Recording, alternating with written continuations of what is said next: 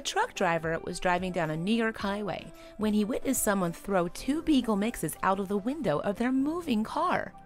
The trucker pulled over immediately to help the poor dogs who were left for dead on Interstate 81 near Whitney Point, just north of Binghamton. State troopers arrived at the scene to help and quickly bandaged the injured dog and splinted his leg.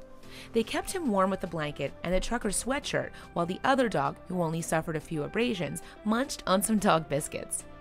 The wounded dog is estimated to be between 6 to 8 years old, while the other dog is about a year old. The injured dog, whom they named Trooper after the state troopers, was so badly injured that his leg wound up having to be amputated. He also broke ribs and had contusions to his legs and shoulder. The other pup, named Adam after the driver, only suffered a few abrasions. Trooper has a long road ahead of him, but they are hopeful that he will make a full recovery. Both dogs are healing at the Broome County Humane Society.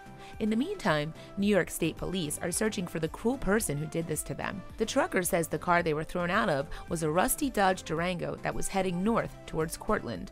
Please share to pass on this story to a friend or family member.